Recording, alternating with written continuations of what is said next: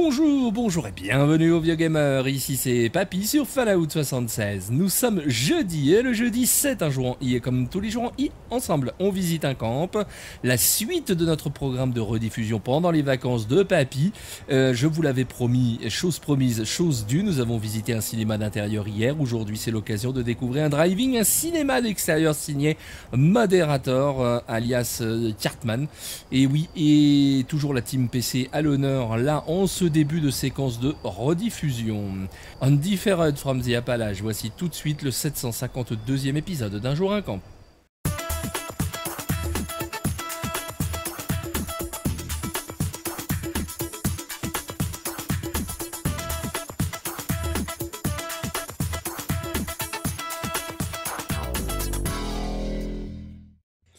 Aujourd'hui, nous visitons le camp de Cartman 277.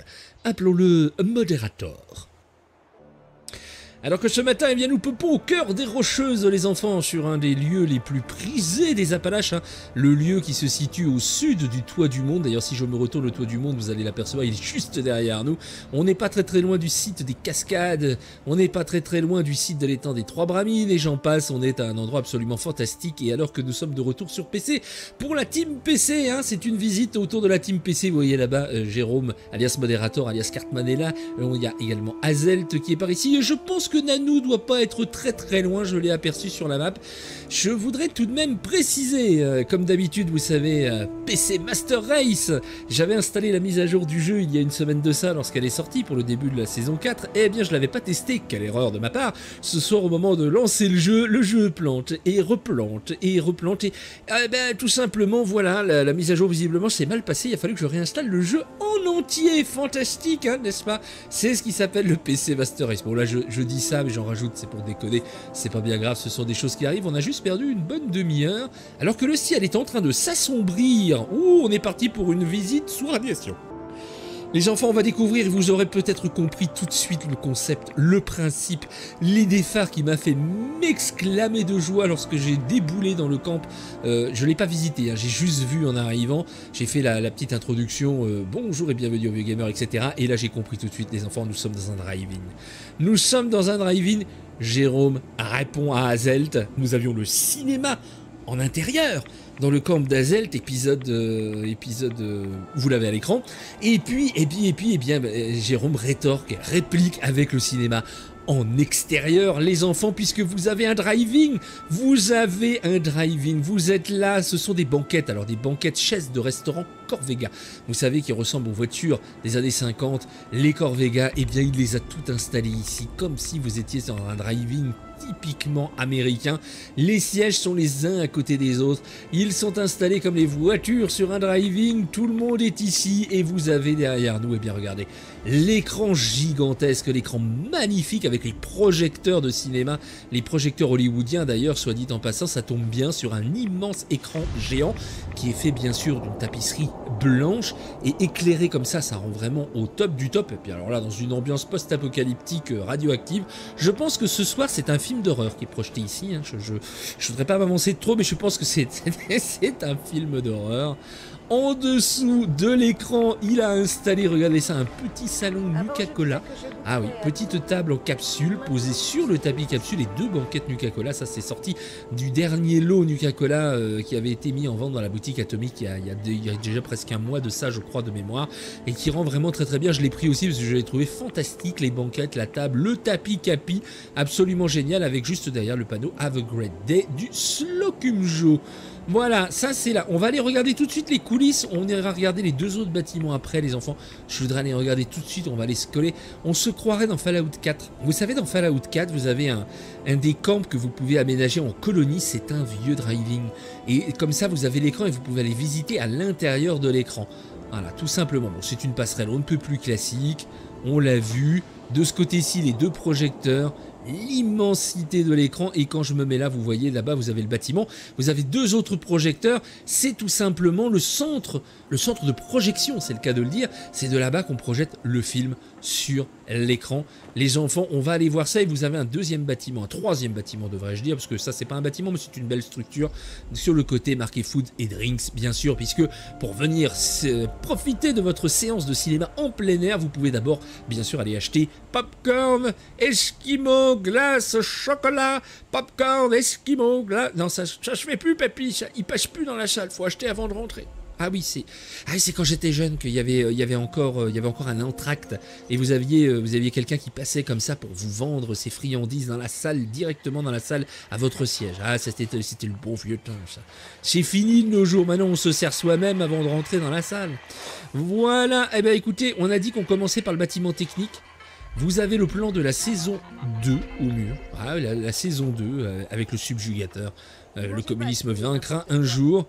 Vous avez euh, sur le côté différentes grandes structures, ça c'est là-bas, vous avez un petit manège qui vient de la saison 1, vous savez la structure de manège en soucoupe volante, ça c'est pour les gosses, comme ça pendant que les papas et mamans regardent le film, en amoureux, les gosses peuvent venir tranquillement profiter de la soucoupe volante. Ah ah, ah, ah, ah, ah, regardez ça, vous avez une petite composition à l'intérieur. Les œufs d'écorcheur peint qui étaient euh, disponibles au moment de, l'événement euh, lié à Pâques, euh, que ce soit il y a deux ans ou cette année, et au centre de la pièce qui se font face à Mr. Peeble, le petit, le petit singe. Oui, bien sûr, bien sûr, papy, c'est un petit singe, ça se voit, hein Un petit singe tout blanc, mais le petit... Mr. Peeble, le petit chat astronaute qui rencontre un alien. Bienvenue dans Rencontre du troisième Quoique là, on est peut-être même dans une rencontre au moins du quatrième type, je pense, avec des œufs écorcheurs autour. D'ici à ce que les œufs éclos, éclosent, éclosent. Euh, d'ici à ce que les œufs s'ouvrent et qu'une sale bestiole en sorte du type alien, il n'y a pas des kilomètres. Ça ferait un bon film. Ça ferait un bon film, je pense, pour le driving euh, après. Je cherche Win. Excusez-moi, vous auriez pas vu Nanou? Je, je, me sens bien l'avoir aperçu sur le mais je ne l'ai pas vu encore. On va, voir, on va la trouver, on va la trouver. À côté, vous avez l'immense flèche du Red Rocket en tout cas. Quelques euh, petits lampions de la Fashion Vous avez un mannequin. Eh oui, vous avez un mannequin ici. Un mannequin féminin avec des formes tout à fait respectables. Euh, dans une tenue d'abri d'ailleurs, de tenue de l'abri 60... Euh, non, de l'abri 51. Bon, on peut pas dire de bêtises. Une tenue d'abri bleue et dorée, bien sûr. Euh, de l'abri 51 et en dessous de la flèche du Red Rocket, vous avez l'entrée de salle de maintenance de l'abri. Ça, ce sera pour la suite de la visite, bien sûr. Vous avez encore des petites attractions ici, voiturette de golf et Monsieur Fusée pour pouvoir euh, amuser encore les enfants. Bâtiment technique, alors derrière, vous voyez des fils électriques et du, du générateur, c'est très bien. Et nous, on va monter, les enfants, on va monter, on va prendre l'escalier de service sur le côté qui nous fait monter un niveau puis deux. Et nous allons atteindre le toit. Et papy, c'est pas par là. Ah, peut-être que c'est pas par là. Oui, peut-être que. À moins que je me laisse descendre ici et que je fasse surprise. Oui, mais je me suis vautré. C'est mort. L'entrée est ici, en fait. Faisons les choses correctement. Direction la salle de projection. Alors là, on est sur le thème du cinéma, donc vous ne serez pas surpris de découvrir ces affiches puisque vous avez des affiches de films tout simplement, et notamment le célèbre, le célébrissime, le cultissime Silver Shroud, avec son chapeau, avec sa mitraillette, et eh oui, il est là, l'agent secret, le, policier des années 50, Silver Shroud. Needs you, eh oui, il a besoin de vous, Tune into Channel 314, hein. connectez-vous, allez-y, branchez-vous sur la chaîne 314 sur le câble et le satellite, disponible via la DSL de votre opérateur, ou euh, en, pédalant euh, sur votre vélo d'appartement. Oui, ça marche aussi, à l'ancienne, à l'ancienne. Et à chaque fois des publicités pour le, pour notre ami. Vous avez également un petit côté, euh, là on est un peu plus sur des cowboys, on est un peu plus sur le western, The Fighting Furries, et puis vous avez un, magnifique film historique notamment. Il y a encore Silver Shroud qui est là, il y a également Chroniac le barbare, il y a euh, la Reine du Mystère à côté, The Unstoppable, les incassables. La nuit, oh oui, la nuit de la revanche de l'homme poisson, ça c'est un film d'horreur que j'aurais adoré voir. De nouveau les Unstoppable et puis bah, vous avez, vous avez l'ouvreuse, l'ouvreuse ou le, oui l'ouvreuse. Bonjour madame, est-ce que je pourrais avoir un ticket? Je voudrais pour la prochaine séance de la nuit de la revanche de l'homme poisson, s'il vous plaît. Avec à côté, qu'est-ce que Une manif, un distributeur en bourse. Mais je veux cet item. Mais d'où sort cet item? Mais d'où c'est qui sort cet item? Je le veux. Je le veux, je rêvais d'une caisse enregistreuse, je rêvais d'un item comme celui-ci. D'ailleurs, je me serais contenté des, des, caisses euh, classiques qu'on trouve dans tous les magasins des Appalaches, hein, dans les couleurs vert-bleu, euh, abîmées même, je l'aurais prise. Mais ce distributeur en bronze, mais c'est une machine de vente, c'est une machine de vente. Alors, sinon, indépendamment de ce moment incroyable où je me dis qu'il y a vraiment, y a vraiment une caisse enregistreuse à l'ancienne de disponible dans le jeu, je le veux. Euh, l'ouvreuse, je pensais peut-être trouver Nanou dans le rôle de l'ouvreuse, mais non, non, non, non, non. Alors on nous dit employé only, porte de cabanon sordide, je vais rentrer. Vous avez derrière des vestiaires aux couleurs Voltec et puis vous avez, on va arriver dans la zone technique tout simplement. C'est un peu l'atelier du driving là où euh, les techniciens euh, viennent pour euh, éventuellement rafistoler un siège de Corvega abîmé ou, ou pour travailler en tout cas sur la maintenance de la salle de projection ou, ou bien de l'écran lui-même. C'est une zone technique avec les différents établis. Ah, petit point positif, et ça j'y attache une attention toute particulière en ce moment parce que j'avoue que j'en ai un peu marre de voir les, établis en randonnion le long du mur. Mais à chaque fois que je vois un aménagement, voilà, un petit peu comme chez moi, avec les établis dos à dos et un troisième dans l'angle, comme ça, euh, en carré où on tourne autour, je suis totalement fan. Et ça, c'est un petit point positif en plus. J'adore ces zones techniques là comme ça où on essaye d'avoir un petit peu d'originalité dans la disposition. C'est vraiment sympa. Les items bonus sont ici aussi, bien sûr, vieux sac de frappe pour le bonus d'agilité, ainsi que le banc de musculation pour le bonus de force asymptomatique, l'établi de chimie dans l'angle. Et vous avez même, après les caches là-bas et la plante carnivore en pot, vous avez même un masque d'art contemporain qui sortait du Low High Spring, ce fameux masque qu'on retrouve sur la façade de Fort Hagen dans Fallout 4 et qui existe en différentes teintes et déclinaisons dans Fallout 76 et vous en avez différents exemples ici. À l'étage, les enfants, salle de repos des employés sans doute, jolie moquette qu'on rencontre assez régulièrement en ce moment et c'est vrai qu'elle rend du meilleur effet partout où elle se trouve. Je l'ai moi-même installée dans ma salle de collection. Vous avez une table refuge de chasse avec les chaises assorties, petite plante verte posée dessus pour agrémenter la décoration et vous avez un espace chambre qui est délimité par le fameux paravent qui a fait fureur et qui est très en vogue depuis sa sortie dans la boutique atomique la semaine dernière.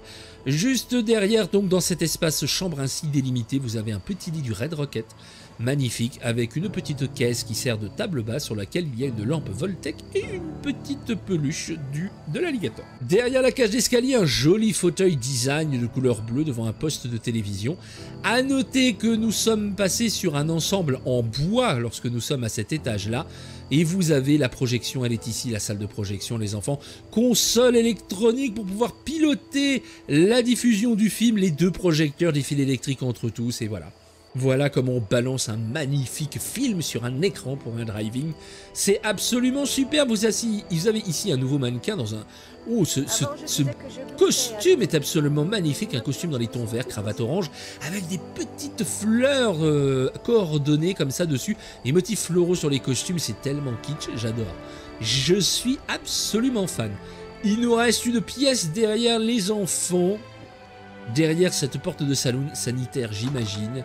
Et oui, avec ah, espace baignoire et espace toilette, c'est-à-dire espace douche baignoire, espace salle de bain et espace toilette séparés à nouveau par un paravent. La baignoire, on ne peut qu'espérer que les prévisions et prédictions de Papy se réalisent et que ce soit au cours de la saison 5 qu'on récupère une baignoire propre. Hein, je vous rappelle, saison 5, Papy a prédit saison 5 la baignoire propre, saison 7 la douche et saison 9 le jacuzzi. Ah oui, oui, oui. Ah oui on, on imagine, on, voit très loin, ça s'appelle l'anticipation, c'est très important. Petit lavabo propre qui lui venait de la saison 1, euh, et les toilettes propres bien sûr de la saison 3. Voilà, je ferme et derrière il y a quand même une fenêtre ici et c'est purement décoratif les enfants et j'adore. J'adore derrière cette fenêtre, vous avez eh bien trois plantes carnivores en pot qui sont posées là. C'est vraiment purement décoratif, mais c'est extra. Nous avons une petite, petite peluche de Grognac, le barbare, posé sur une des deux consoles. Notre ami Silver Shroud de l'autre côté. Le thème est vraiment raccord jusqu'au bout, c'est superbe.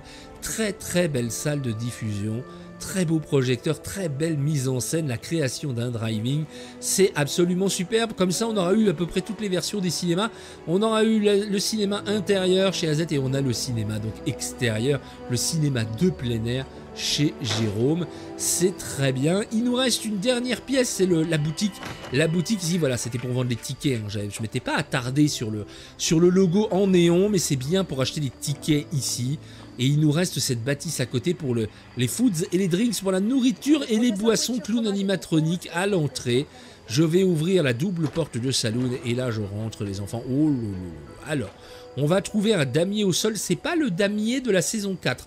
Parce que le damier de la saison 4, le damier échiquier qui est disponible dans la saison 4, d'ailleurs parmi les toutes premières récompenses, c'est un damier pareil noir et blanc, mais où le carrelage n'est pas abîmé. Ici, vous voyez, le carrelage, il est craquelé, il est fissuré, il est, daté, il est abîmé. Ça n'est pas le cas sur celui de la saison 4. Donc ça, c'est le, le damier noir et blanc euh, qui était euh, disponible en même temps qu'un même damier rouge et blanc du lot euh, à l'époque normalement si je ne dis pas de bêtises du Slokumjo ou du Red Rocket je ne sais plus tout à fait lequel des deux on va retrouver justement carrelage rouge et blanc du Slokumjo et ou du Red Rocket, je ne sais toujours pas non plus. La seule chose que j'arrive à distinguer désormais entre les deux lots, puisque j'ai fait des constructions il n'y a pas longtemps, c'est les différences entre le comptoir. Voilà. Lorsque le comptoir est bicolore, comme c'est le cas là-bas, rouge et euh, je sais pas si c'est blanc ou rose d'ailleurs, c'est plus blanc, voilà, rouge et blanc. Bicolore, ça vient du Slokumjo. L'unicolore, uniquement rouge, ça vient du Red Rocket. Voilà, maintenant je sais comment distinguer les éléments de comptoir entre eux. Mais par contre, par contre, par contre, si pour les banquettes et tabourets, il n'y a pas moyen de se tromper, hein, le logo est assez évocateur du Red Rocket, alors que lorsque ce sont des chaises et tabourets de Slokumjo, la couleur est plus rose et vous avez des petits bonbons, des petits bonbons de sucre là comme ça, de toutes les couleurs qui sont posées, euh, qui sont gravées euh, dessus. Ça, il n'y a pas de doute, on s'y retrouve très bien. Mais alors par contre, pour le sol et euh, le carrelage, je suis encore pas sûr de quelle eau ça venait, mais a priori j'ai tendance à penser que ça devait venir du Slokumjo également. Voilà. À l'entrée, un générateur Voltec un peu plus euh, moderne et pratique. Il y a encore une caisse enregistreuse. Ah, je suis jaloux de ces caisses enregistreuses, mais c'est incroyable. Il m'en faut une dans mon atrien pour vendre les billets, euh, les billets pour ceux qui voudraient faire le voyage inaugural sur le Sofia Daguerre. Il me faut impérativement une caisse enregistreuse comme celle-ci. On a un immense comptoir ici avec euh, enfin, trois immenses comptoirs en fait, trois, trois comptoirs, trois ambiances. Vous avez celui-ci qui vient du lot Far West avec des, euh, des tabourets qui eux viennent du lot de bar chic. Vous, mais tout ceci reste dans un style un peu bois et cuir avec des belles vitrines derrière de Thanksgiving, je crois à la base elles doivent s'appeler comme ça, dans lequel il y a tout un assortiment de boissons alcoolisées déposées. Eh oui, vous pouvez tranquillement faire votre choix parmi tout cet assortiment de boissons. Les shops, les différentes shops, il y a un présentoir pour les shops, elles sont toutes là hein, depuis euh, la saison 1, Jungle, la saison 2, l'As de l'armure, la saison 3 et la licorne, l'espèce de cheval ailé de, de Kadekin Weld, et puis derrière les, les shops plus communautaires qui viennent de la Fashion Art et de la semaine de la viande. D'ailleurs, j'étais en train de réaliser, ça fait longtemps qu'on n'a pas eu la semaine de la viande. Je pense que je serais pas étonné que ce soit un des prochains événements communautaires qui reviennent parce qu'on a eu dernièrement la Fashion Art, mais pas la semaine de la viande. Le magnifique panneau euh, lumineux de bar Old Possum. Lui aussi, je l'aime beaucoup. Tabli, tapis, tabli, tapis. Tapis mural de Capi encore. Petit distributeur de chewing-gum euh, façon euh, profondeur sous-marine. Et puis vous avez donc les deux autres comptoirs.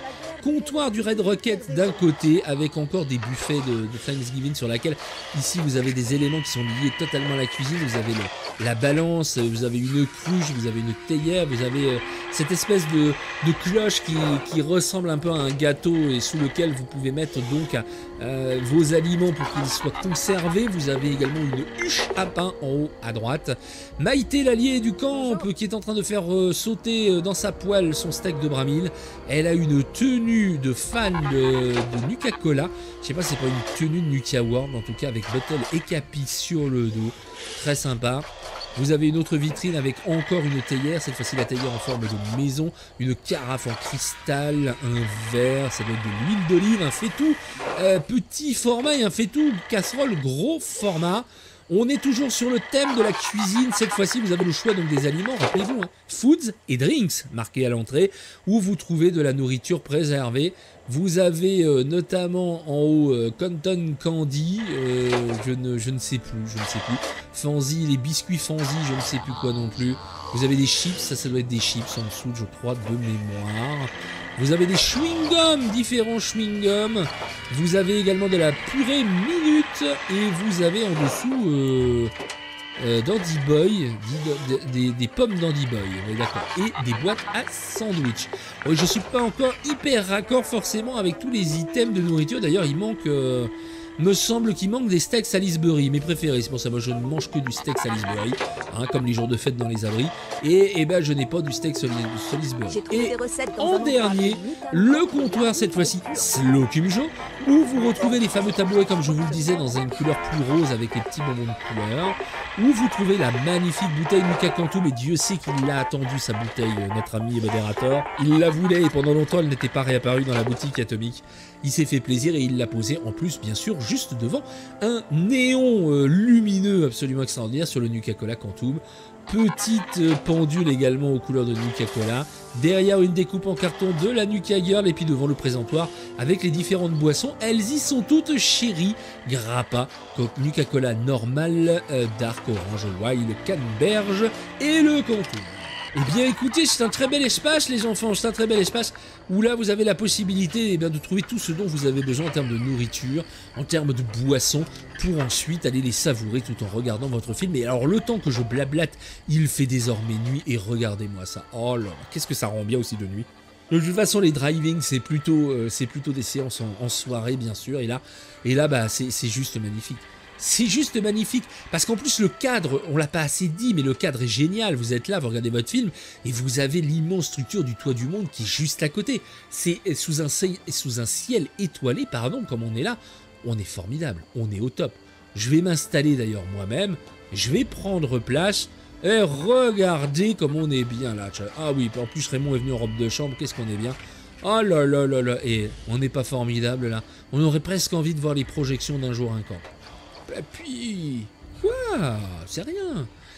Et voilà les enfants, fin de cette séquence consacrée au 7ème art, dont le 9ème art et le jeu vidéo. Nous arrêtons là avec les cinémas. Demain, ce sera un thème qui n'aura strictement rien à voir, mais on poursuit les rediffusions. Papy a les doigts de pied en éventail. Tranquillement, il profite de ses vacances et vous avez vu, un hein, même en jeu, même les jours fériés comme aujourd'hui, jeudi de l'Ascension, les épisodes d'un jour comme sont là, même s'il s'agit de rediffusion. J'espère que vous aurez apprécié de le découvrir ou de le redécouvrir. Si c'est le cas, comme d'habitude, n'oubliez bien sûr pas le pack YouTube, pouce, partage, abonnement, cloche et commentaire. Moi, je vous fais tout tout plein de gros gros poutous quasi estivaux et je vous donne rendez-vous naturellement dès demain matin pour un nouvel épisode d'un jour un comme c'était Papy on Different from the Appalaches. À vous les studios. Ciao